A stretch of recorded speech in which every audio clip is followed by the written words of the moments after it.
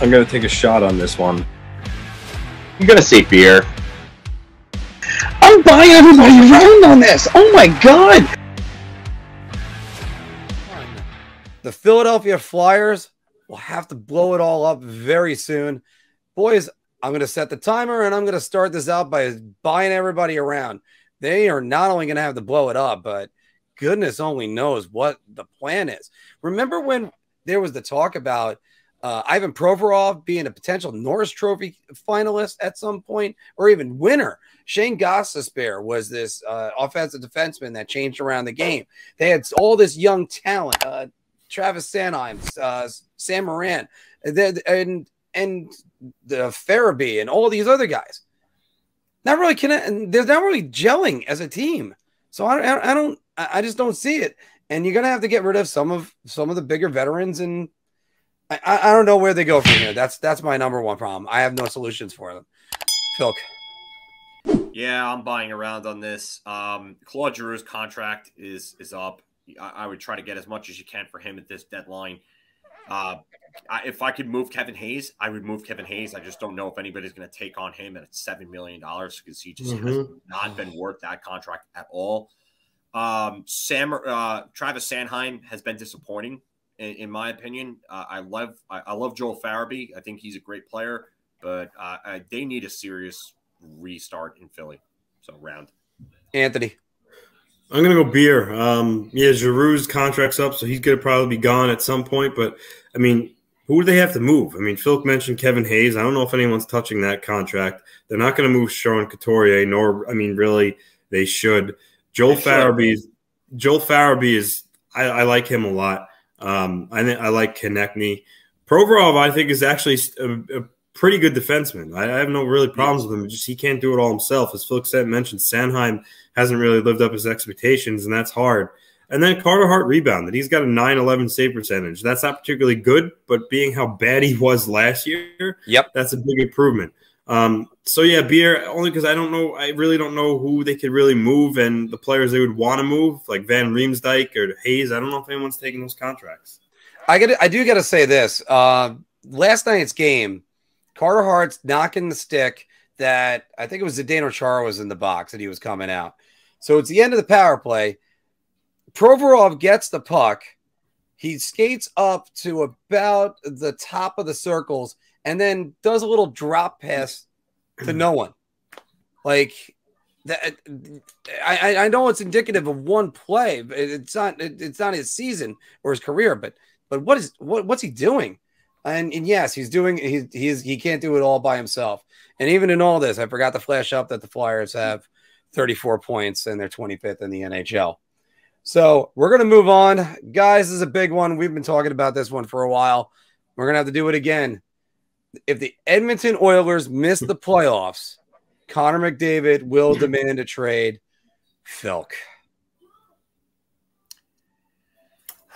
This one's a tough one. Uh, I'm going to say beer just because I don't know if he necessarily does it now, but there is going to be a major shakeup if Edmonton misses the playoffs, and there is going to be media hell. If you think Leon Draisaitl getting – pissy, as Jim Matheson says with him, um, is bad.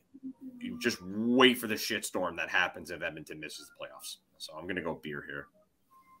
Anthony. Um, in the context of this question, I'm going to go shot because I don't think it's going to be this year that he axes for out. But if things don't change in the next two years, because what he's got four years left on his contract, if I'm not mistaken. McDavid. So, yeah. Yeah, double double check that, but I believe it's four. So I mean, he he very well might maybe halfway through with two years left, he may say if nothing changes, he has enough and X for out. I just don't think it's going to happen this off yeah, season. Even if they four, four years yeah. left, and then his no movement clause kicks in this off season. All right. Ooh. Yeah, I don't. I don't think. I don't think that's happening this year. I, I would be shocked if it came this early, but I will say, like again, I think it will happen if things don't improve. Um, I mean, this team, this team is a disaster. I mean, the, they're just you could see the what happened with Draisaitl and the press conference. You know, you could see tensions are high. They're obviously pissed off, rightfully so. Were they two ten and two in their last what four, 14 games, I believe. Um, Uh, yes, so actually, I had it right. that- I had it right here. In the last ten is two six and two. Uh, yes, I believe you're right. Two, So- two ten and two. You're making you're trying to make them look better, but the whole thing they're, that's even worse. for they're, they're not they're not playing good hockey and, and things a mess there in Edmonton. So, um, boy, I, I I mean, yeah, that's that's going to be a tough situation if they do miss, but I don't think it's happening this soon. Right. And by the way, we're going to play that clip for you in a second that we keep talking about. But uh, I, I'm, I'm, I'm going to go beer. I'm not going to buy everybody around. I've been saying, predicting gloom and doom on this since Jack Eichel last year. But let me just flash this one out at you for you, for you guys. Um, uh, well, I had the upcoming games. There aren't many wins in there. And then the last time the Oilers won a playoff game, Guardians of the Galaxy Volume 2 opened at the box office. Wow. Yeah. You were wasting Connor McDavid's career. Corey I mean, Perry unless- was still an Anaheim Duck. Yeah. And on, by the way, let me also uh, say I'm not counting the play in round. So that was ridiculous. Which, by the way, we'll get to the play in round in a moment too. But it's there's there's a lot of problems that are going on in Edmonton, and I'm not sure if Connor McDavid wants to wants to stick around for it, especially when you just don't you you, you don't know if he's the perfect solution. He, what he, what what can he do? I mean, he's he scored you know 100 points last year. They didn't win a damn game in the playoffs. It, it's amazing and and just mind-boggling. And boys, here is that clip we were talking about right now. lots of reasons for why the Oilers are playing the way they are in terms of winning and losing. What do you think is the number one reason for the losses now? Is there is there one thing that you in your own mind you're saying we got to get better at that? Yeah, we have, we have to get better at everything. Would you like to expand on that? No, you can do that. You know everything. Why are you so pissy, Leon? Hmm? Why are you so pissy? I'm not. I'm just answering your. Yeah, you are. Whenever I ask you a question, I gave you an answer. not very good one. Okay. I have one more for you, Leon. You showed your frustration on the ice last game against Ottawa. Is that a good thing when you show it so the other team knows you're frustrated? Yeah, it's a great thing for sure. Good. And by the way, why is he asking that question? That's ridiculous. What why question? are you so pissy? oh, that question. Like, uh, what reporter asked that question? He, he's basically setting him up for a gotcha type moment to try to throw his teammates under the bus. And when Leon doesn't take the bait, he gets annoyed that Leon doesn't take the bait and sees right through his garbage. That's that's a joke, man. That's a joke. mean- And and and he deserved the response that Draisaitl gave him. Good. I have no, pro- and you know what? Ryan Callahan last night was on uh, the ESPN telecast of the Flyers Islanders game, and he came right out and said, "Good for Leon for not taking the bait and giving him the answer that he gave him."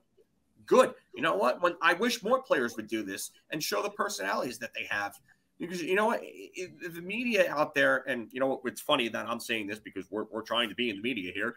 You know that a lot of these ti- a lot of these guys want to you know play games with the, these guys and put them into corners and trap them. And you know what? And Matheson got frustrated. And Matheson has been doing this in Edmonton for years, for years with all different types of players. So you know what? Good on Leon for for for telling it how it is and giving him a taste of his own medicine. Too bad. So sad. Anthony, your thoughts on the question? Sure. I just thought that's funny. I, I, I said this last week. We're talking about a McDavid. We're talking about a McDavid trade. Yeah, we were talking about these- that. the yeah, for these fans clamoring to get him, you're you're not realizing your team's going to look a whole lot of it different once he's on the roster to the point where it's not worth it. Um, but uh, as far as the the Draisaitl mix up with um, Matheson, listen, I I think I think it's not just Draisaitl that's frustrated. Let's face it, when you're a reporter and you cover a team that's just been disappointing for you know for so long and not living to expectations just like the player I, I think it gets to you you know and you become frustrated too i didn't think it was a perfect storm um, but listen it is what it is it's a dust up i'm, I'm sure that there's no ill will there long term, and they'll be fine. But good for Leon Draisaitl, kind of giving it back to him for sure.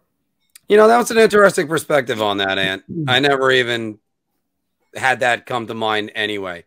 But uh, about being a reporter and and and being frustrated as you're covering the team. Yeah, So- and you know what? And they're they're frustrated too because uh, some of these guys get attached to the team and they want the team to do well. And I, I get that, but you can't handle yourself in that type of way and expect not to get that type of response from Draisaitl or anyone that you're asking that type of question to in that kind of inflammatory way. That's it. Yeah. And that's just the way to say it. Guys, next week we're going to be doing our mid-season awards. And one name that's going to be coming up is going to be the name right here. Jonathan Huberdeau is a Hart Trophy finalist. Filk, what do you think? Uh, I know I've said this a, a, a few weeks back, maybe a month or so, maybe a little longer, but yeah, he's got to be right there in it. I'm buying around on this. This guy is doing everything in Florida. Alexander Barkov is not having the year that you would expect offensively from a guy like him.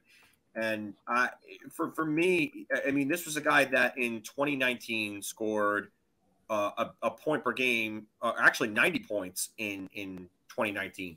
Barkov only has 29 and 26. That's still really good, but he's missed time, and and Huberdeau has picked up the slack while he's missed that time with 53 points in 39 games for Florida. So that's pretty damn good. So I'm I'm buying around on this. Anthony. Yeah, I'm I'm doing a round as well. Um, you know, I, I think he's been incredibly important to this Panthers team.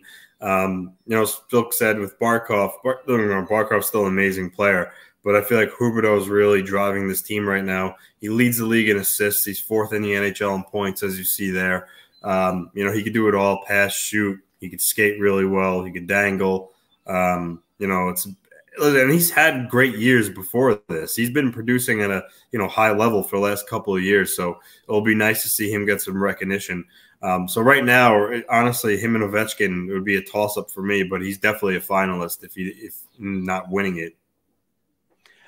Uh, I'm to buy round two, boys. And I wasn't exactly on the Jonathan Huberdeau uh, bandwagon exactly, but he's two points behind Alexander Ovechkin for the for the league lead, and he's he's fourth right now. But that could change in just one game. This team puts up goals in buckets all the time, and yeah, it's Huberdeau. It's Huberdeau doing most of it. So, if you like that video, we got a lot more. So check out any of these that are right over here. And don't forget to like, share, and subscribe. Hmm, your ideas are intriguing to me, and I wish to subscribe to your newsletter.